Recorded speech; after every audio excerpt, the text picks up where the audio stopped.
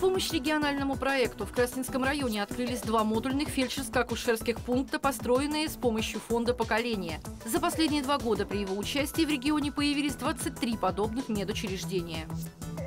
Здесь научат делать куклу-благополучницу и петь народные песни. В Губкине прошел седьмой межрайонный фольклорный форум «Славянское кольцо». Он собрал народные коллективы со всей области и десятки гостей, ценящих старинные традиции.